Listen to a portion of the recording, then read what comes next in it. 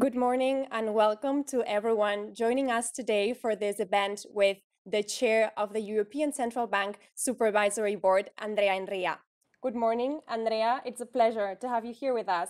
Good morning, Georgina. My pleasure.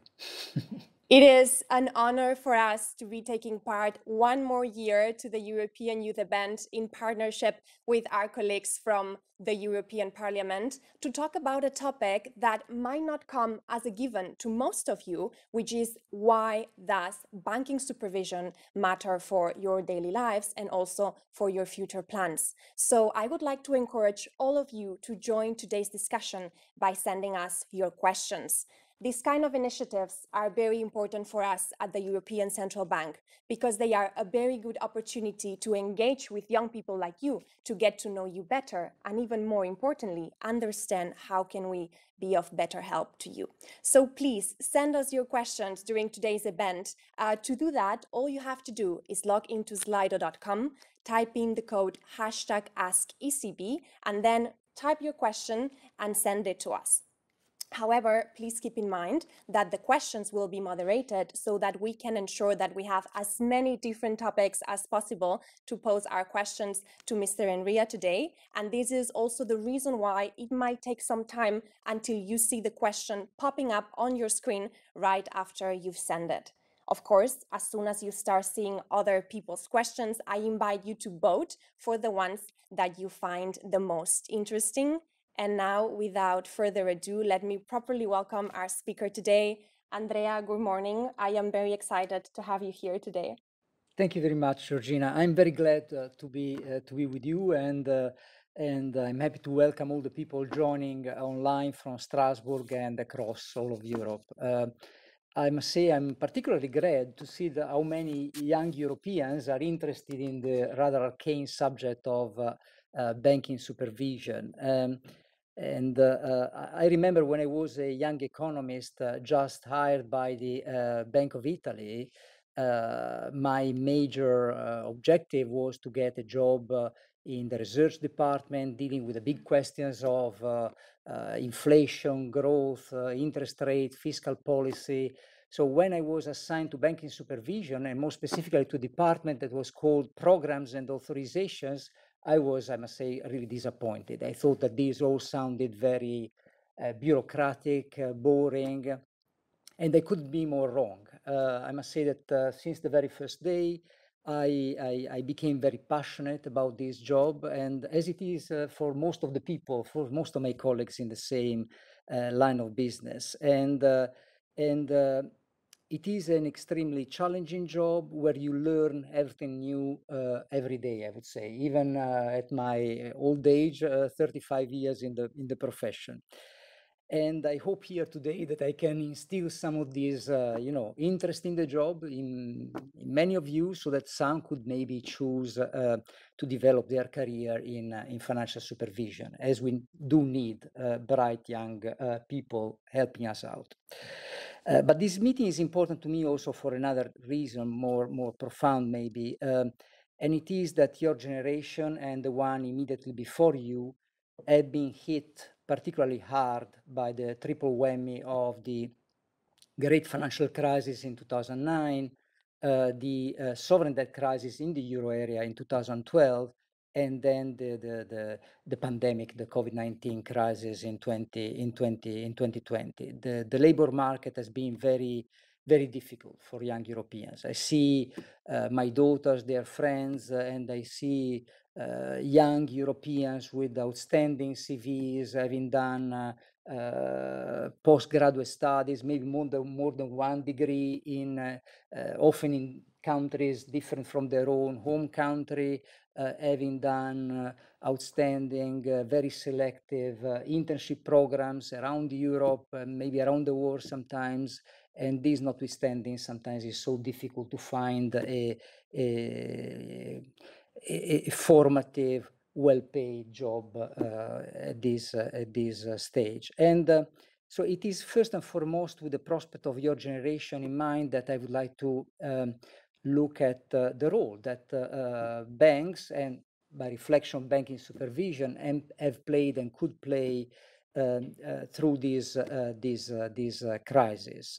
so what happened? If you look at the great financial crisis, you have a, a, a tale of bankers' excesses. So excessive risk taking. Um, uh, excessive complexity, so financial innovation that was mainly used to to, to, to push up short-term profits, uh, irrespective of the long-term risk that were taken, and um, and excessive leverage, so too little capital to shelter the losses uh, uh, when these risks materialize. And, uh, and, and, the outcome was that, unfortunately, there was a need for massive support, financial support from governments when the crisis materialized to bail out uh, uh, banks and avoid a meltdown in the financial sector and protect the savings of households and uh, ensure continued financing of, of firms. But this came to a, a, a great, uh, a great cost.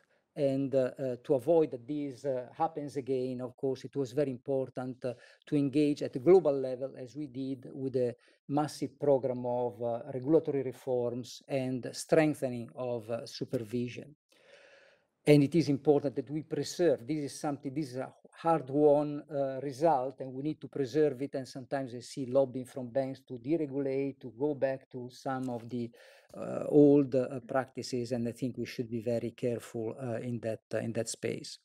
Uh, the, the, the, the, sovereign debt crisis is is instead is peculiar of the euro area, and it highlighted some severe weaknesses of the um, construction of the monetary union. And uh, um, it showed in particular the strong connection between banks and their sovereigns. So we were in a monetary union, but each bank in each country was strongly linked to the sovereign in that uh, country. And it happened through uh, different mechanisms. Sometimes the connection ran in, in different uh, directions. So we had, for instance, that the impact of the great financial crisis on the Irish banks was so huge that it created a major problem also for the uh, for the public budget. So for continuing, you know, uh, uh, social expenditures and, and, the like, and the government had to ask for support from the uh, from the European uh, from the European Union, from the European uh, Financial Stability Fund. in in Greece, the, the, the link ran the opposite direction. So it was the public finances that went into troubles uh, with a widening of spreads, with a se severe risk perceived in the Greek bonds, and this uh, uh, uh, brought to contagion of the banks that went into troubles and and created a, a, lot of concerns for again households, firms, and the economy at large. Um, and uh, what is important to understand is that at that moment there was um, the, the, the, the, integrity of the monetary union was at stake because uh, there was the perception that one euro deposited in a bank uh, uh, in a country under stress was not of the same value of a euro deposited in a bank uh, in a country which was not uh, under, under stress. And this implied that deposits started flowing from the former to the latter. and this has been very destabilizing and, and really putting the, the whole integrity of the euro area at stake. And it is only thanks to the bold measures that the ECB took at the time and the decision eventually of, uh, uh, of uh, the, the, European Council, the Parliament to uh, centralize banking supervision and banking resolution, creating the banking union, that uh, the problem was dealt with uh, effectively. Um, also, thanks to these, uh, the, the, response to these two crises, so to the financial reforms, the financial regulation reforms, and to the establishment of the banking union, banks came to the appointment with the third shock, with the pandemic shock, uh, much stronger. And that was very important because banks in our system, especially in Europe, more than in other, in other countries such as the US, are key in the financing of all type of firms, from the small shop to the to the la very large corporate, large uh, airline company, for instance. And so having, uh, you know, these, uh, uh the, the, the, banks uh, continuing to support the economy in front of this shock was of paramount importance, especially when the governments took the decisions to put our uh, economies in lockdown, basically, our, uh, not our economy, our society in lockdown, uh, these, of course, impair not only the ability of uh, borrowers to pay their debt to banks, but also uh, it created a, huge uh, necessity to continue financing no, these, these, these companies and households also throughout, throughout the pandemic, where maybe their income was not, was not there anymore.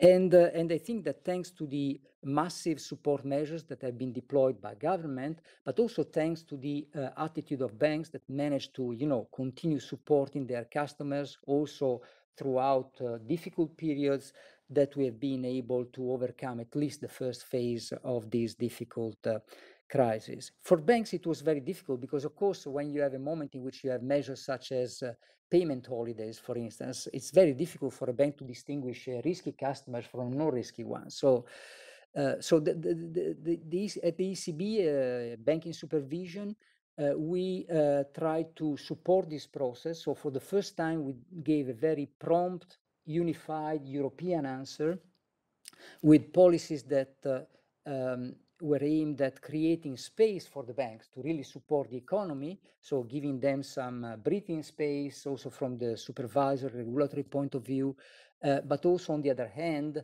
being very tight on the uh, assessment of risk, because what you don't want in a crisis like that is that banks become lax and then you have build-up of risk that then materializes in a, in a crisis at a later at a later stage. So I think that was very very important. And now, uh, let's say, if I look at uh, what is keeping busy right now, uh, of course, we don't have only uh, the firefighting task in crisis, it's also trying to um, uh, prevent future crises. And uh, if you look at the structural changes we're grappling with right now as, as a European society, the um, uh, transformation of our economies uh, towards uh, a low carbon economy and the green and climate issues are becoming of paramount importance. So how does banking supervision fit into this picture? Of course, banks will play a, a, a major role in financing this transformation of our economy. And uh, in doing so, it is important that they are very alert to the uh, risks of of this transformation, especially climate risks. No, uh, so uh, both the physical risks, so the risk that there will be uh, more frequent uh, floods or wildfires that will affect, you know, destroy houses and and and livelihoods of of our citizens. Um, but also transition risks. So the risk that the transition to a low carbon economy could be particularly bumpy, maybe because the governments do not react fast enough, and then they have to steepen up their uh, response at a later at a later stage, disrupting also the price mechanisms and the, the balance between sectors. So uh, uh, by pushing banks to consider these risks, we force them to think long term, to think also to these long term risks, and to uh, make this, themselves better in supporting exactly this, uh, this much needed uh, transition. Uh, so they will serve better uh, themselves, their balance sheet, they will serve better their customers in the euro area and the whole planet as a, as a result.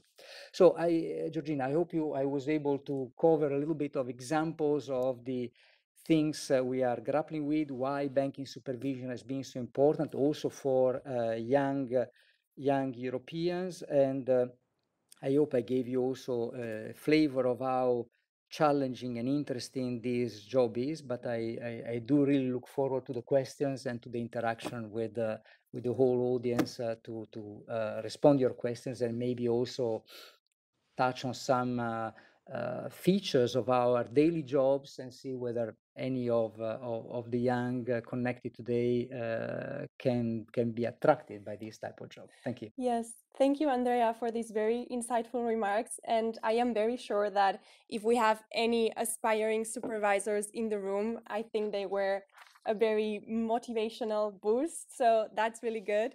And I mean, let's just jump straight into it. Let's start to um, our Q&A session. But I would actually like to begin the other way around. I would like that for starters, we ask you questions that you will answer for us. So I'd like to invite all of you to please go to our Slido event and answer a couple of questions that we prepared for you to get to know you better and see a little bit uh, where are we standing for today's event.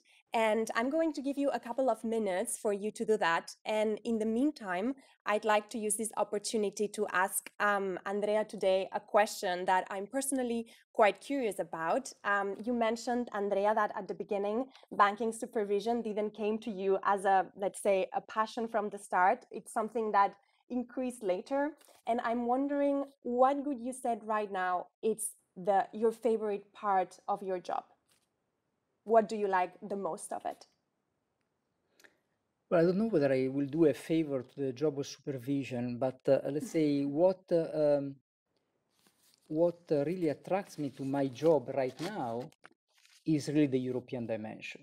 So the fact that uh, uh, you know uh, um, you do connect with um, very diverse problems in the in in the in the banking union across across our area and you have every day you know a different challenge and it's so uh, varied so uh, you know um, stimulating but especially you always have on the back of your mind that you're serving the interest of european citizens and that's uh, i think uh, in terms of motivation that's something that no other job can give you i think Thank you. That was quite inspirational. Um, let's have a look at our audience. Let's see if we've given them sufficient time to answer. I think so. We have here in front of us a screen where we can see the results and also the, the questions that you submit. And it's very interesting to see that most of you um, are, are willing to learn and improve your knowledge in banking supervision. And I think that's a great starting point for today's event.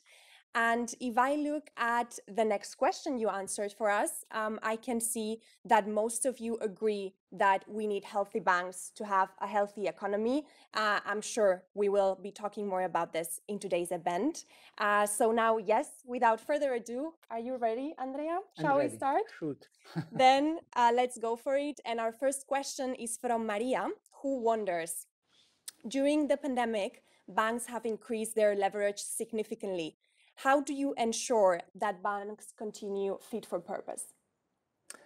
Uh, well, um, as a matter of fact, banks themselves have not increased their leverage, uh, especially if you look at the risk-based measures of leverage. Banks have improved their capitalizations, so they have raised uh, their their capital compared to the overall balance sheet uh, size of their balance sheet. Mm -hmm. But uh, but I think that uh, uh, the question is right in the sense that there has been a, a huge increase in the leverage in the economies at large. And uh, this is increasingly financed by non-bank financial institutions. But these non-bank financial institutions, to a large extent, take their funds from banks. So um, this is making my job more difficult, the job of supervisors more difficult, because uh, it's not sufficient to look in the bank's balance sheets, but it's important to understand how the uh, contagion could run through a non-bank financial sector, which is uh, in most cases not regulated or very lightly regulated. So you don't have a lot of visibility on these risks. So now they, we had recently, you know, in before the summer, this case of a, a small U.S. family office, no, Archegos was called, uh, that went uh, bust creating more than 10 billions of losses to the largest global banks indirectly no uh, so where you expect uh, the the risk management to be at the top level no so that's that's really the, what concerns me and mm-hmm. what uh, uh, that uh, you have indeed a massive increase in leverage in the economy and especially when we are going to exit from this uh, extraordinary low interest rate environment I mean, it might be uh, difficult. And, uh, and these non-bank financial institutions and the indirect risk on banks are very, very delicate, I think. Mm -hmm. Thank you. Um, our next question, which received quite a number of votes, so it seems many of you are interested. Uh, Martin asked it, and it says, is open banking the future of banks in general? And is that the right path to open finance? Look, open banking has been, uh, now sometimes let, us try to clarify terminology, at least as I understand it. No, uh, there has been a, a, a, a strong pressure from uh, policymakers at the European level, especially in the payments area, to uh, enable more competition. So to enable more uh, non-bank uh, payment providers, uh, such as uh, PayPal, Klarna, and the like, to access directly the bank accounts, your bank account, and to initiate your payment so that you can realize on other smart operators, technological uh, companies uh, to get a better service. And that was important because banks were charging very high fees in this area. There was little competition and consumers were not served well enough. I remember, especially at the European level, to move funds from one member state to another, I mean, it was really a pain, both in terms of the time you needed and the fees that you were supposed to pay. So uh, I think that uh, opening the bank's accounts and enabling more competition in, in, in that area has been indeed a, a, a most important uh, development and very much welcome. Um, now, um, what does this mean and what does the technological developments mean for uh, banks in general and banking services in general? This is a question to which I think if anybody tells you that uh, he or she has an answer, is lying. um, I think it's very difficult now to understand. Um, uh, my impression is that at the moment, these uh, um, opening also through technologies of financial services is affecting some segments in which indeed the banks were excessively um, charging excessive fees. So consumer finance, payments. In other areas, so like financing, you know, uh, the green transformation projects and the like, I think banks, especially in Europe, still have an important uh, an important advantage. Uh, but I think that they need to invest in digitalization as well, because otherwise, yes, it is possible that they will find themselves uh, uh, in in, in, in extinction mode. I remember there was an article by um, Bill Gates actually mm-hmm. in the late 90s saying uh, about dinosaur banking, no? So, uh, defining brick and mortar banking as dinosaur banking. And I think he's right. He was right then, and we are now seeing that. Uh, brick and mortar branch banking is probably going to extinction, but this doesn't mean that banks uh, necessarily will go to extinction as well. They need to react. Mm-hmm. Yeah, indeed. I guess progress never comes without challenges, right? Um, our next question, I think many of our participants today are wondering about this. Um, Alex ask, asks you, um, as a young European, why is banking supervision important to me? You know, again, uh, the, the, the, the, the issue is that uh, banking are a, an important uh, technology in a sense that we invented some time ago uh, to make sure that you can give to the um, uh, to the savers the safety on their funds, on the fact that their funds are safe, uh, depositors in particular, and at the same time finance uh, more illiquid, more risky projects that are important to, you know, to push growth in our economies. To do that, banks are traditionally highly leveraged institutions.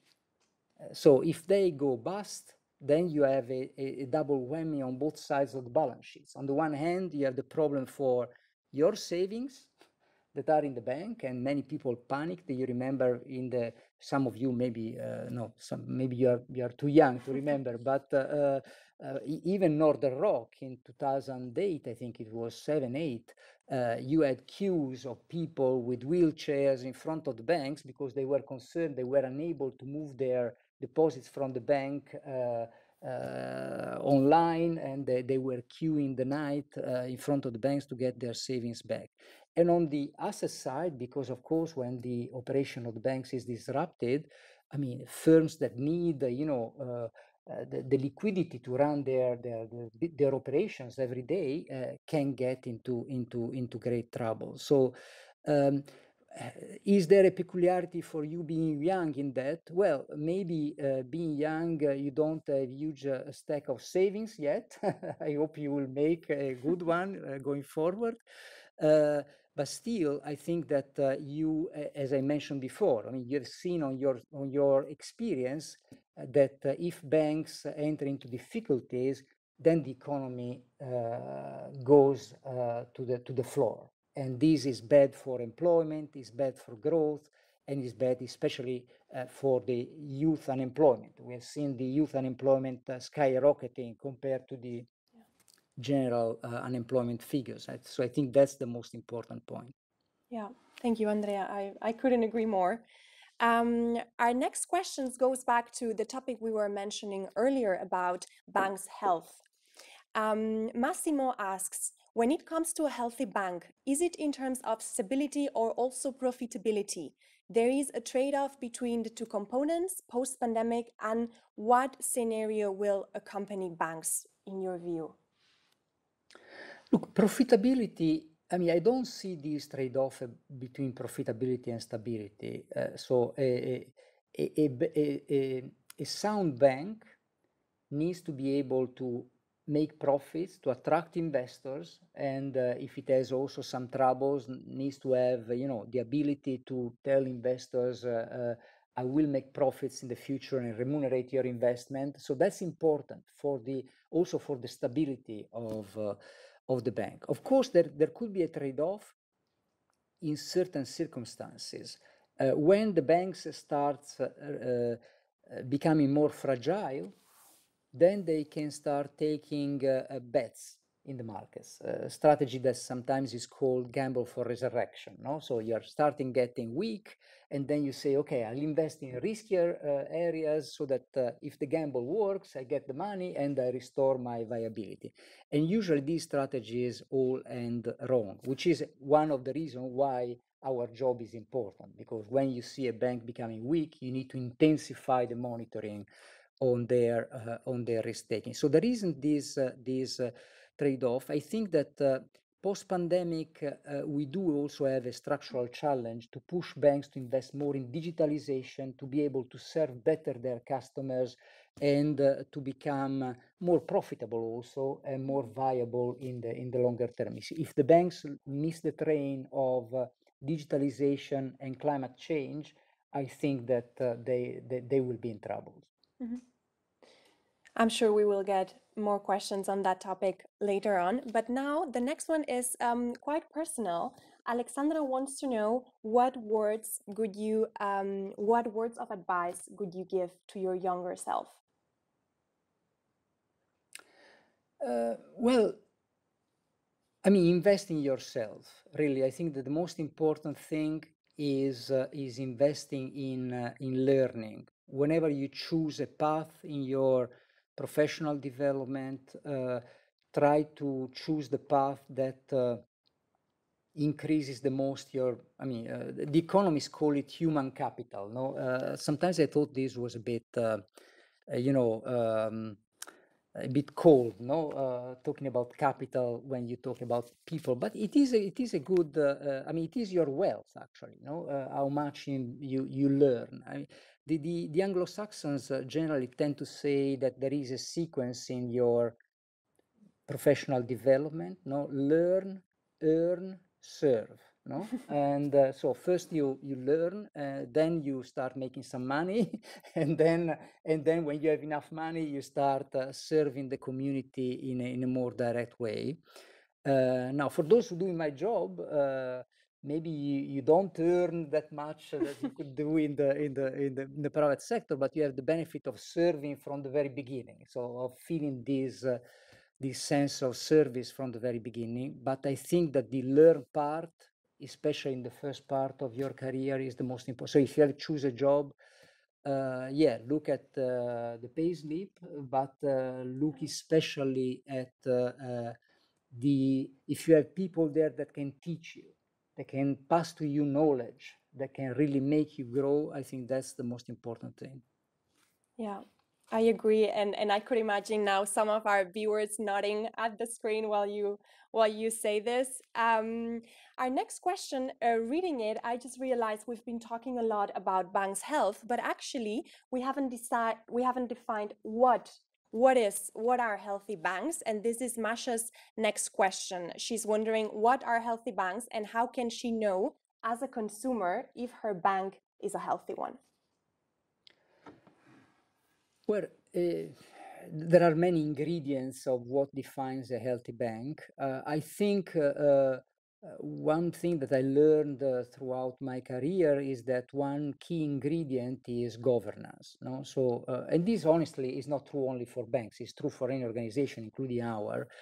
so, if you have, you know, um, processes that select uh, the members of the board, the managers, uh, uh, people that have the right moral compass, that have that are diverse also diverse not only in terms of gender, maybe race, but also diverse in terms of skills, of uh, knowledge, uh, so that you can have a good, uh, um, you know, mix a mix of people in the in the in the top in the top management. Governance is, and especially having good challenge in within organization. When you have uh, the, the thing that I learned the most is that when you have a bank which is dominated by a very strong personality that, uh, that nobody uh, dares to challenge, that's a bank that can do huge profits for a certain period of time and then generally crashes against the wall. So governance is a key is a key element. Of course, in terms of financial, a well-capitalized bank is a is a more solid bank, uh, and uh, and uh, um, the on the asset side, what we look at is the asset quality. So how much uh, uh, loans are non-performing, which is a signal that the bank has been granted loans to customers that uh, did not warrant to be to be those those those loans. And and uh, um, so these these are the main ingredients. But uh, the second part of the question is the most important maybe. Mm-hmm. um, having supervision to some extent is done exactly in order not to have customers uh, bothering about uh, about uh, the, the quality of the bank. uh, if you invest in a bond if you invest in, in shares you need to read the prospectus and understand which uh, let's say which investments you are making. So what is the quality of the issuer? Uh, and you have to take a responsibility. If things go wrong it's your responsibility you take the loss.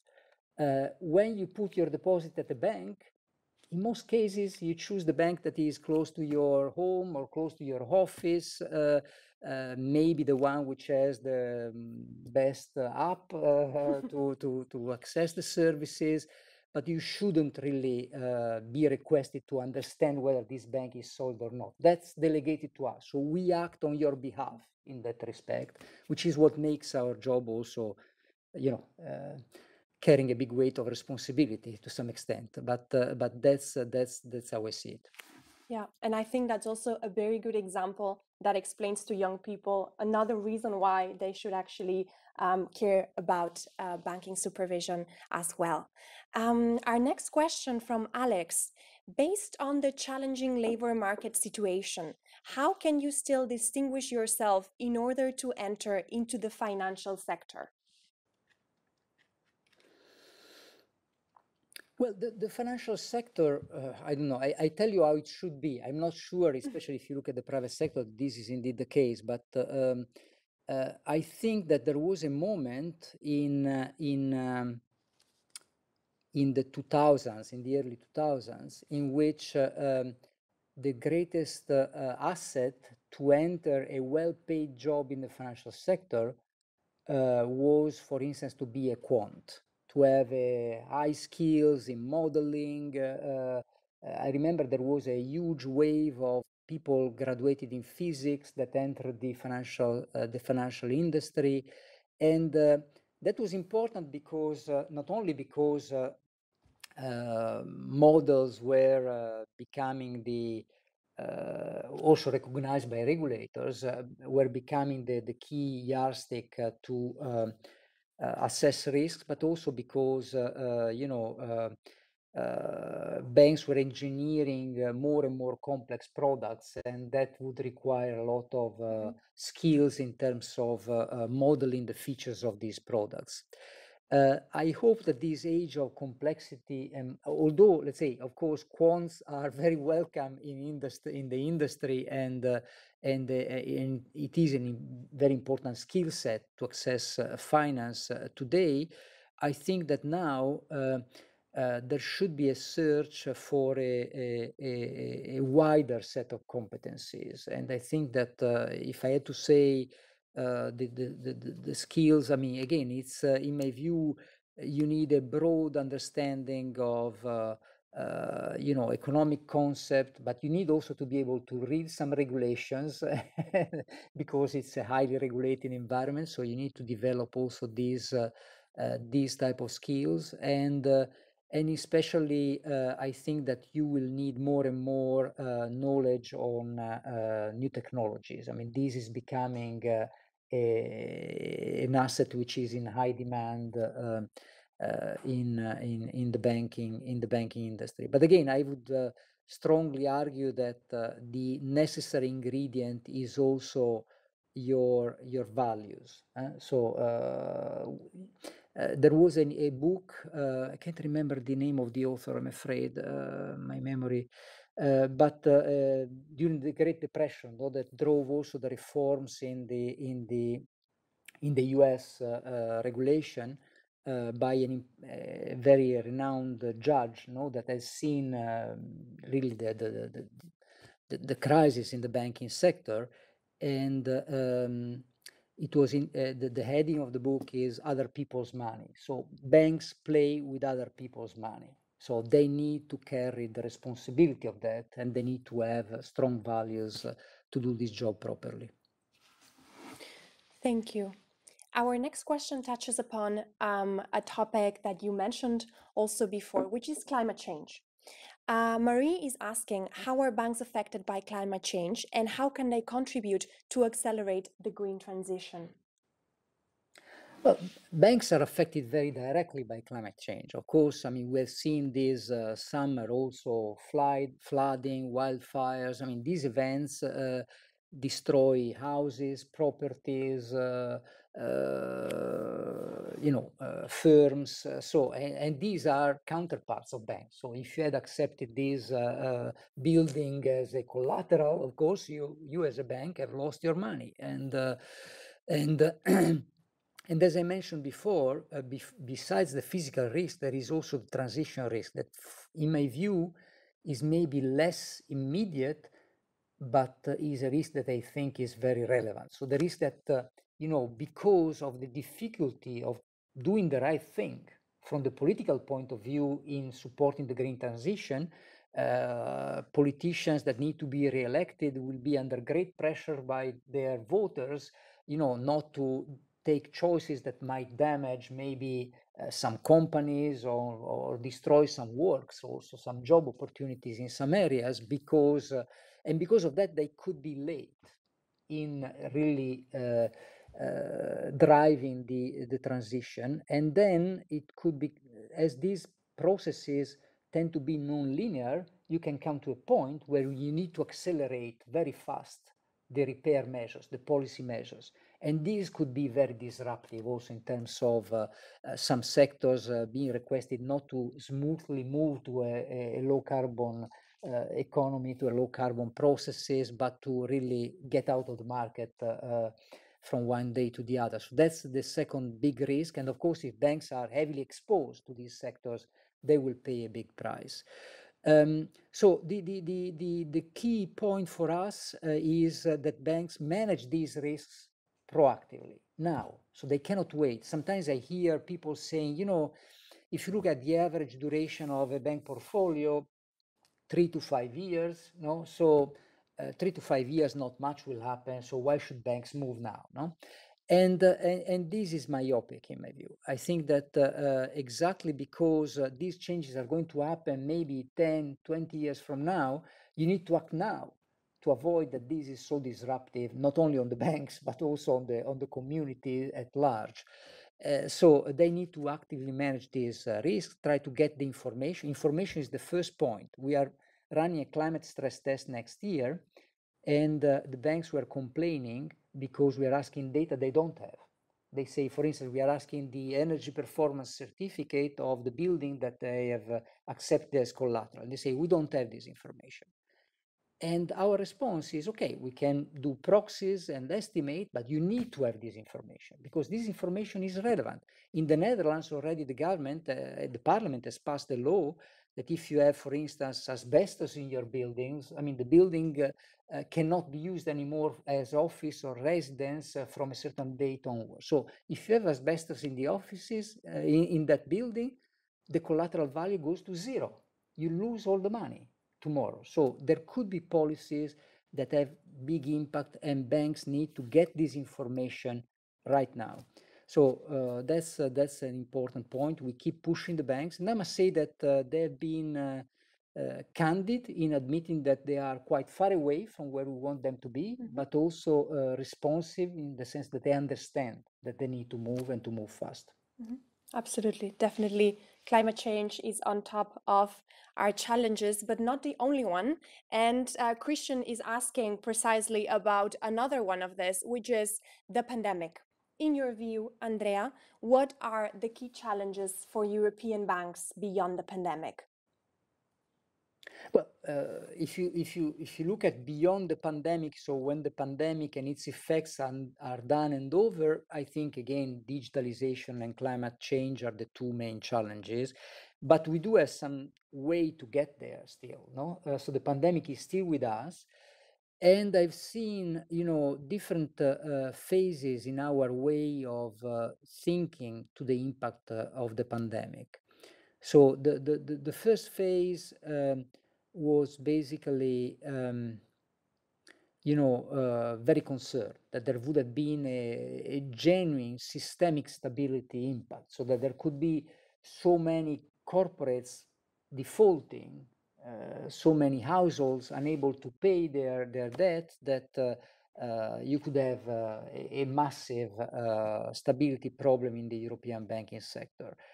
Um, now the pendulum, and that was with hindsight, was probably an excessive concern because there has been so much support from governments and from monetary policy, by the way, uh, to uh, the economy that this uh, risk has not materialized as, uh, as deeply as we expected. Uh, corporate uh, insolvencies have started increasing a tiny bit, but they're still below the pre-pandemic levels. Mm. Still, uh, now the pendulum is switching a little bit, swinging a little bit too much in the other direction. So I see banks, but also uh, the general, uh, I mean, economists starting developing excessively rosy expectations. So the problem is gone. Uh, asset quality problems will not materialize, and uh, and we are now in a rebound, in a faster rebound of our economy. Everything will be well.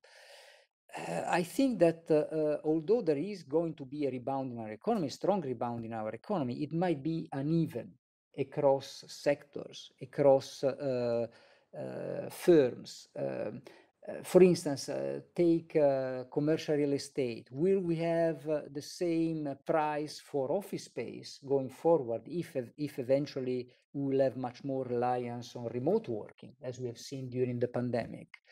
so airlines? Uh, will we have people traveling by plane as much as they did before the, the, the pandemic? Will the also the uh, environmental footprint of certain of certain uh, sectors or firms be a, a, an important element in understanding who comes back after the pandemic and who does not come back after the pandemic?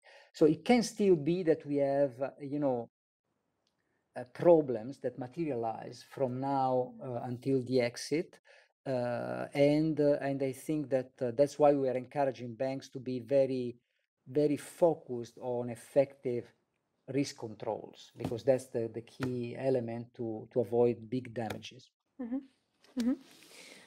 Um, going back to um, challenges, Uh, Emma asks, how do you imagine that banking supervision will change and adapt in response to the introduction of a digital euro and also with the increasing popularity of cryptocurrencies and stablecoins?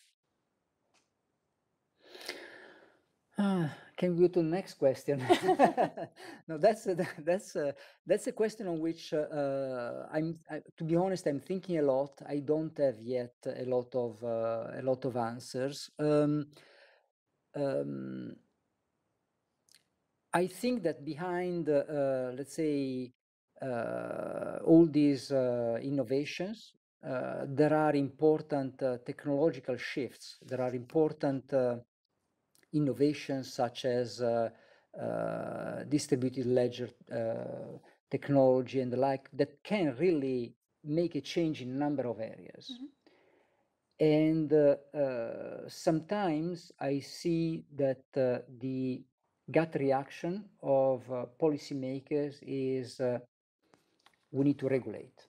We need to, and uh, and uh, and I think it's very difficult, no, because on the one hand you don't want to jump the gun and start, uh, you know, killing all innovations in your in your uh, jurisdiction uh, by submitting, uh, you know, new startups that develop new products in in, in, in and requiring high compliance costs.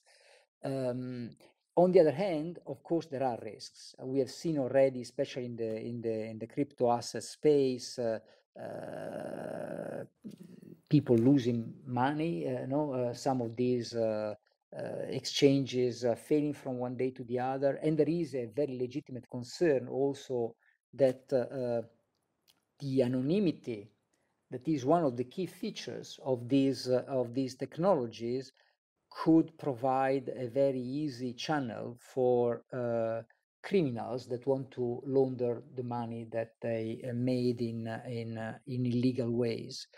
Um, so it's a, it's a difficult it's a difficult question um, how to how to tackle these private initiatives with these private initiatives in a in an effective way. Uh, I understand that, for instance, in the US, they are thinking about attracting these uh, these uh, uh firms uh, um, under sort of bank-like regulation.